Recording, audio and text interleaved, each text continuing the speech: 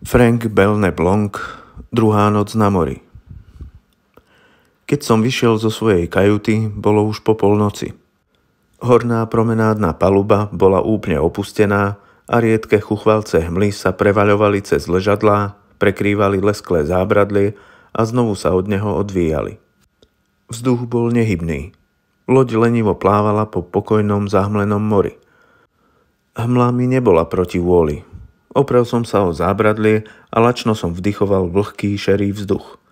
Takmer neznesiteľná ťažoba, prenikavé fyzické a duševné utrpenie sa stratili a cítil som sa dobre a pokojne.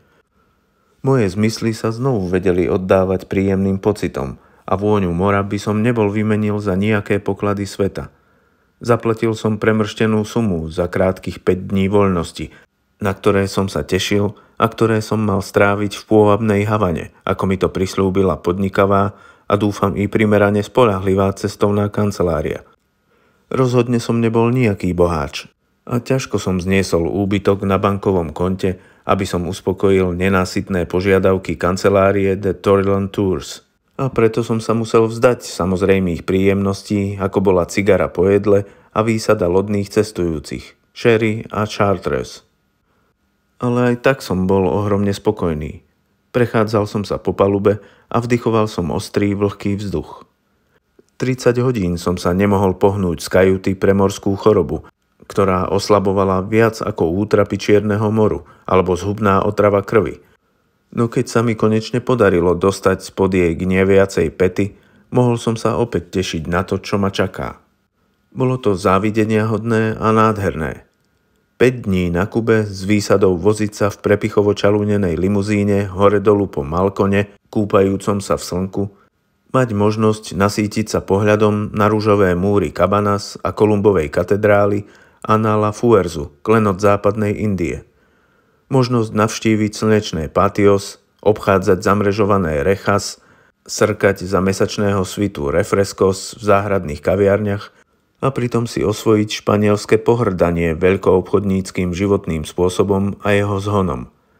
Potom tajomné a čarovné Haiti, Panenské ostrovy a zvláštny až neuveriteľne starosvedský prístav na ostrove Charlotte Amalie a jeho domy s červenými strechami bez komínov, terasovite stúpajúcimi k pokojným hviezdam, prírodný prístav Sargaso Neodvratne posledné miesto dúhových rýb, mladých potápačov a starých lodí s komínmi vybielenými od slnka a s kapitánmi nekonečne oddanými alkoholu. Blízkavý opál v Malachitovom amfiteátri. Jeho pôvab žiaril cez sivú hmlu a rozptýľoval môj severský splín. Oprel som sa o zábradlie a sníval som aj o ostrove Martinik, ktorý uvidím o pár dní, a o indiánskych a čínskych devčinách na Trinidade a potom som odrazu pocítil, že ma chytá závrat. Znovu ma začala trízniť stará, strašná nemoc. Morská choroba, na rozdiel od všetkých iných mučivých neduhov, je choroba individuálna. Ani dvoch ľudí nikdy nesužujú tie isté symptómy. Do jej prejavov patrí ľahká nevoľnosť i oslabenie a ochromenie celého organizmu. Mňa mučila choroba nepredstaviteľne ťažko. Dusil som sa, s ťažkým dychom som odstúpil od zábradlia a nemohúcne klesol do jedného z troch ležadiel, ktoré boli na palube. Prečo Stewart dovolil, aby tam tie ležadlá ostali, bolo mi tajomné a nepochopiteľné. Zrejme si nesplnil povinnosť, lebo po polnoci už nezvyknú cestujúci vychádzať na hornú palubu, a tak teraz vlhká hmla ničila pletivo ležadiel. Ale bol som príliš povďačný za dobrodenie, ktoré mi jeho nedbanlivosť umožnila – a veľmi som ho neodsudzoval.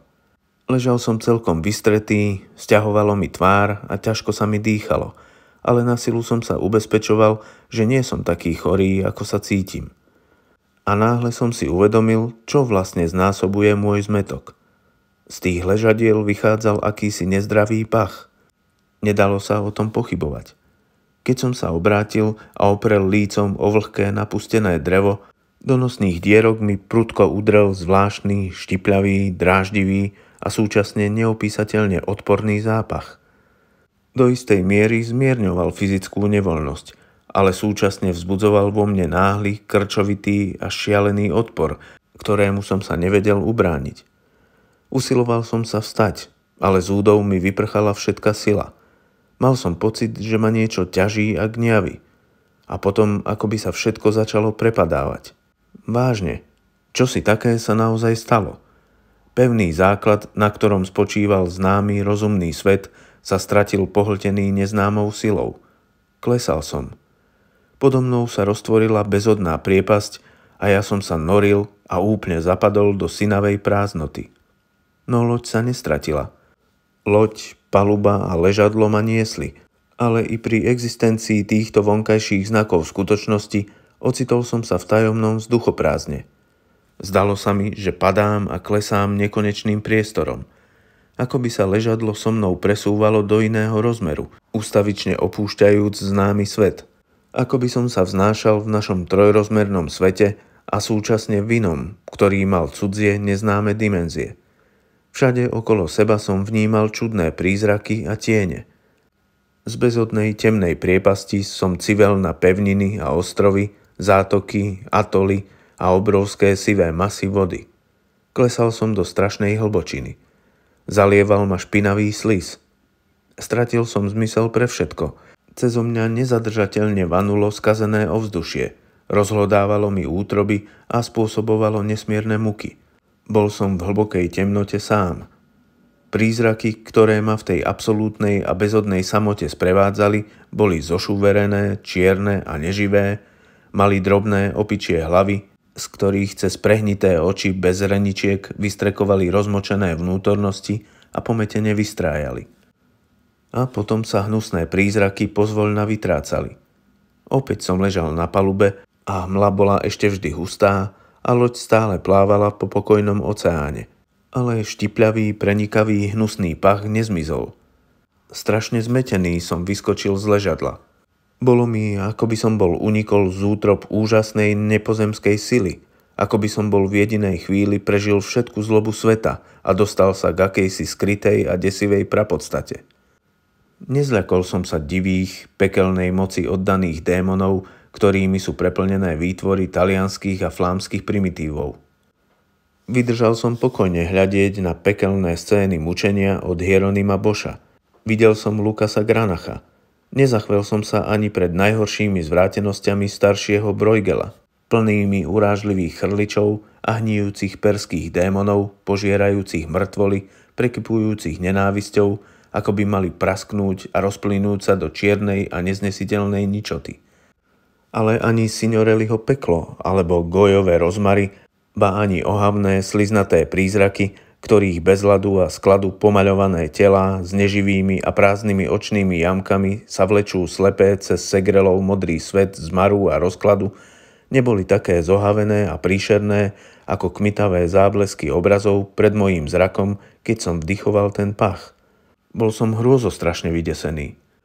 Ani neviem, ako som sa dostal dnu, do vyhriatého a zapareného horného salóna. A ťažko dýchajúc, čakal som Stevarda. Na obložení steny pri hlavnom schodišti som stisol gombík s nadpisom Palubný stevard a vzrušene som dúfal, že príde prv, než bude príliš neskoro. Prv, než ten pach zvonka prenikne do obrovského opusteného salóna.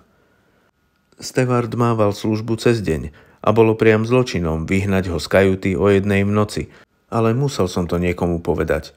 A keďže bol Stevard zodpovedný za ležadlá, Prirodzene som si jeho vybral za terč svojich otázok. Iste poznal odpoveď. Bude mi to vedieť vysvetliť. Ten pach mu asi nie je neznámy. Aj o tých ležadlách. O ležadlách. Začal som byť hysterický a bezradný. Spak ruky som si utrel pod čela a z úľavou som čakal na Stevarda, ktorý sa už ukázal hore na hlavnom schodišti a prichádzal ku mne ako cez belasú hmlu. Bol neobyčajne ustarostený a veľmi zdvorilý. Naklonil sa ku mne a znepokojene sa mi dotkolo ramena. Prosím, pane, čím vám môžem poslúžiť, pane? Asi ste trochu indisponovaní. Čo môžem pre vás urobiť? Urobiť? Urobiť? Všetko bolo strašne zmetené. Iba som vyjachtal. Ležadlá, Stevart. Na palube. Tri ležadlá. Prečo ste ich tam nechali? Prečo ste ich nedali dnu? Na toto som sa ho nechcel spýtovať. Mal som v úmysle spýtať sa ho na ten pach, ale bol som vyčerpaný a otriasajúci zážitok ma úplne vyšinul z rovnováhy. V prvej chvíli, keď som videl pri sebe Stevarda, takého ustarosteného a znepokojeného, považoval som ho za pokrytca a zloducha. Predstieral, že sa pre mňa znepokojuje a predsa mi z čírej zvrátenosti prichystal pascu a urobil zo mňa poľutovania hodnú a úbohú trosku.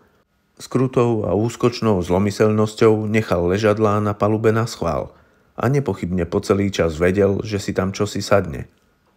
Náhla zmena v jeho správaní ma zarazila. Bolo to otrasné. V zmetku, ktorý ma opanoval, som si hneď uvedomil, ako vážne a strašne som mu ukrivdil. Nevedel nič. Z tváre mu vyprchala všetka krv a otvoril ústa. Úplne onemel, stál predo mnou bez pohnutia a chvíľku sa mi videlo, že zamdlie a bezmocne spadne na zem. Videli ste ležadlá? Vydýchol konečne. Prikývol som. Stevard sa ku mne nahol a chytil ma za rameno. Pokožku na tvári mal celkom matnú. Z pergamenovo bieleho oválu na mňa vzrušene hľadeli zdesené oči. Ono je to čierne a mŕtve, mrmlal. Opičia tvár. Vedel som, že sa vráti. Prichádza vždy o polnoci, druhý deň plavby. Prehltol a stále mi zvieral rameno. Je to za každým v druhú noc plavby. Vie, kde mávam ležadlá. Vyťahne ich na palubu a sedí v nich. Videl som toho tvora minule. Mrvil sa na ležadle, odporne sa vyvaľoval a zvíjal. Ako úhor. Ležal na všetkých troch ležadlách. Keď ma zbadal, vyskočil a rozbehol sa ku mne. Unikol som. Prišiel som sem a zatvoril dvere. Ale videl som tú príšeru cez oblok. Stewart zdvihol ruku a ukazoval. Tu na, cez tento oblok. Pritlačil si tvár na sklo. Bola čierna, scvrknutá a rozožraná, pane. Opičia tvár. Pane Bože, bola to tvár mŕtvej, zmraštenej opice. Mokvala. Prepadol ma strach, že som nemohol ani dýchať. Iba som tu stál a stonal a potom sa to stratilo. Prehltol na prázdno. Doktora Blodžeta znetvoril a roztrhal na smrť. Bolo to 10 minút pred jednou. Počuli sme, ako doktor kričal. Ten tvor sa asi vrátil a sedel na ležadlách 30 alebo 40 minút, čo odišiel od obloka. Na to zišiel do kajuty doktora Blodžeta a zobral si jeho šaty. Bolo to príšerné. Doktorové nohy sa stratili a tvár mal rozgňavenú na kašu. Všade boli stopy po pazúroch. Záclony samá krv. Kapitán mi o tom zakázal hovoriť, ale musel som sa niekomu zdôveriť. Nemohol som si pomôcť, pane. Bohužiaľ, musel som to povedať. Už je to tretí raz, čo ten netvor prišiel na palubu. Prvý raz nespravil nikomu nič, iba sedel na tých ležadlách. Keď odišiel, boli mokré a zahlienené, pane. Celkom smrdeli od slizu. Díval som sa na neho zmetený. Čo mi to vlastne chcel povedať? Bol úplne vyvedený z miery? Alebo som bol ja príliš rozčúlený, príliš chorý, že som ho dobre nerozumel? Vzrušene pokračoval. Ťažko to vysvetliť, pane, ale toto plavidlo dostáva návštevu. Na každej ceste, pane, v druhú noc plavby. A vždy sedáva na ležadle. Rozumiete? Celkom som nerozumel, ale neisto som súhlasil. Od strachu sa mi triasol hlas a znel ako z druhej strany salóna. Tam vonku, chrčal som. Bolo to príšerné. Tam vonku, počujete? Strašný pach. Ach, moja hlava. Neviem, čo sa mi stalo. Ako by sa mi čosi tlačilo do mozgu. Tuná. Zdvihol som ruku a prstami som si prešiel po čele. Tu mám čosi. Tuná. Zdalo sa, že ma Stevard chápe. Prikývol a držal ma, aby som nespadol. Ešte vždy bol zaujatý sám sebou a strašne rozčúlený, ale cítil som, že sa úzkostlivo snaží dodať mi odvahy a pomôcť. Kajuta 16D? Pravda, že nech sa páči, pane. Stevard ma chytil za ruku a viedol k hlavnému schodišťu. Ledva som stál na nohách. Moja nemohúcnosť bola zrejme očividná, lebo mu prišlo ľúto a staral sa o mňa takmer hrdinsky. Dvakrát som sa potkol a keby ma môj sprievodca nebol pridržal okolo pliec a nepodopieral, bol by som spadol. Ešte pár krokov, pane. A sme tam, len pomaličky. Už sa nič nestane, pane. V kajute si pustíte ventilátor a hneď vám bude lepšie. Upokojte sa, pane. Pri dverách kajuty som chrypľavo zašepkal mužovi vedľa seba. Už mi je dobre. Ak budem niečo potrebovať, zacengám. Iba mi pomôžte dnu. Chcem si ľahnúť. Možno zamknúť znútra? Ale áno, pravda, že. Nemal by som vám doniesť trochu vody? Nie, nerobte si starosti, len ma nechajte, prosím. Dobre, v poriadku, pane. Stevard sa presvedčil, že pevne držím kľúčku na dverách a váhavo odišiel. V kajúte bola veľká tma. Bol som taký slabý, že som sa musel celou váhou oprieť o dvere, aby som ich zatvoril. Ako sa zavreli, niečo slabo cinklo. Kľúč z nich vypadol na zem. Zostonaním som sa spustil na kolená a trnúc šmátral som po mekom pokrovci. Ale kľúč sa mi stratil – Preklínal som. Už som chcel vstať, keď mi ruka narazila na čosi tvrdé a chlpaté. Trhlo ma a dých sa mi zastavil. Potom som vzrušene prešiel cesto prstami, horúčkovite sa usilujúc zistiť, čo to je. Bola to... Áno, nepochybne to bola topánka. A z nej vyrastal členok. Topánka pevne spočívala na dláške. Členok pod natiahnutou ponožkou bol veľmi chladný – v momente som vyskočil na rovné nohy a začal ako zviera v klietke obiehať po obvode úzkej kajuty. Prstami som klzal po stenách a po vale. Bože, kde je ten elektrický vypínač? Konečne som narazil do gumového výčnelku na hladkom paneli.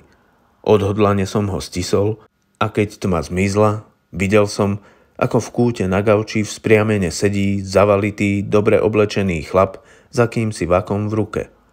Vyzeral veľmi pokojne. Iba tvár mu nebolo vidno. Mal ju prikrytú vreckovkou. Zrejme sa tou veľkou vreckovkou zahalil na schvál. Asi sa chcel chrániť pred trochu mrazivým vzduchom, ktorý prúdil cez okrúhly oblok s odchýlenou okenicou. Chlap spal. Nereagoval na to, keď som mu v tme drgol do členka a ani teraz sa nepohol. Ako by ho nijako nerušilo ani svetlo žiarovky nad hlavou. Hneď sa mi ohromne uľavilo. Sadol som si k votrelcovi a z čela som si utrel pot.